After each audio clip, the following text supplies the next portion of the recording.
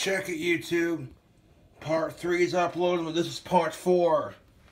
These uh, bacon roses are going to have to go in the oven for a little bit longer.